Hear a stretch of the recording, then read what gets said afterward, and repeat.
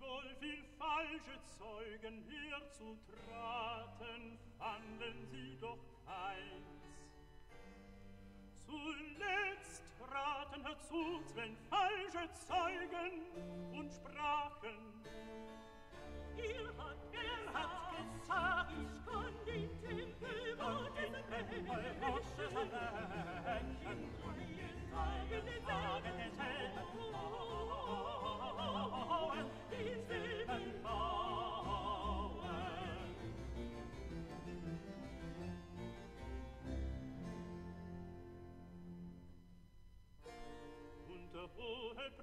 Priester stand auf und sprach zu ihm.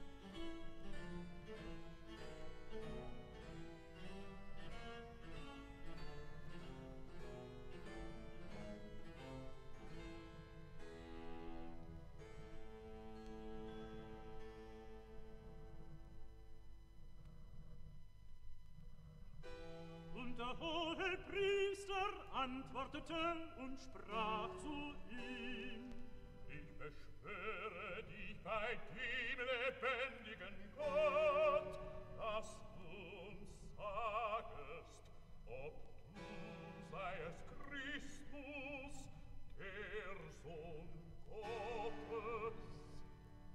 Jesus sprach zu ihm,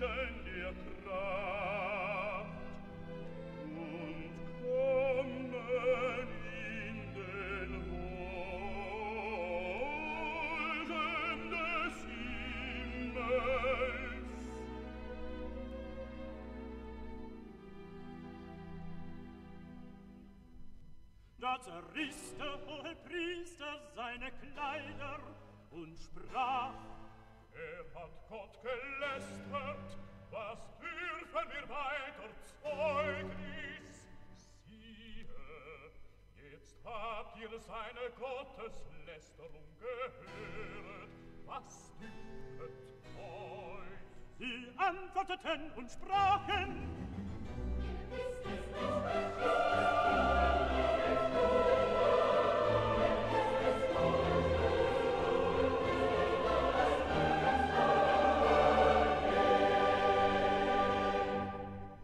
Da speierten sie aus in sein Angesicht und schlugen ihn mit Fäusten.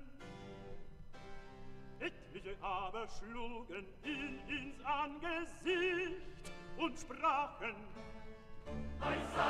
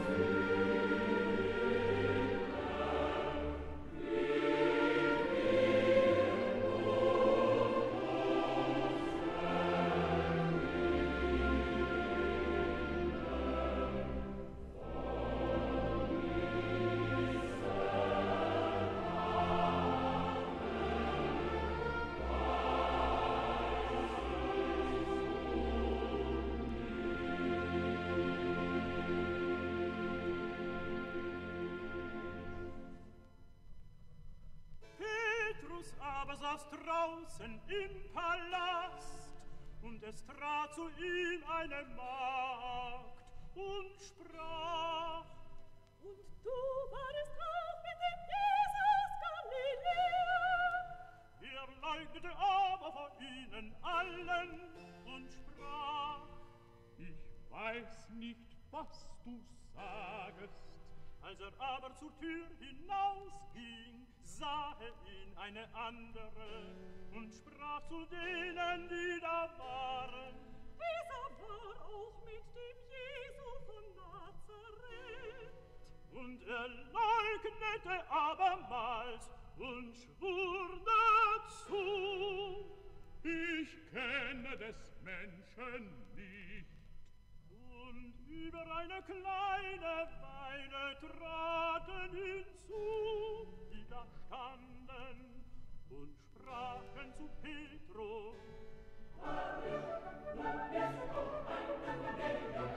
ein Gott,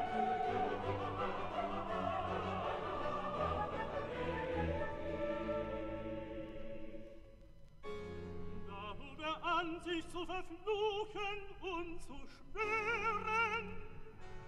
Ich kenne des Menschen nicht.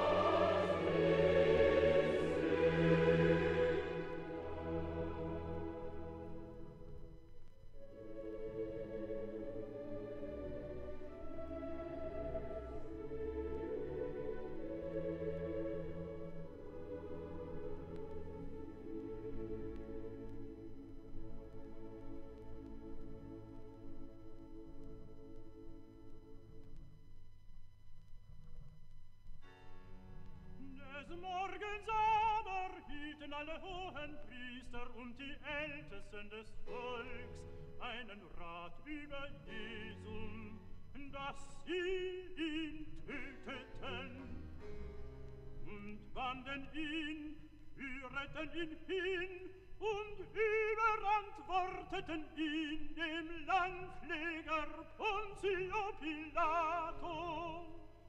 Da das sei Judas, er ihn verraten hatte, dass er verdammt war zum Tode, gereuete es ihn und brachte er wieder die dreißig Silberlinge den hohen Priestern und Ältesten und sprach, ich habe übel getan, dass ich unschuldig blut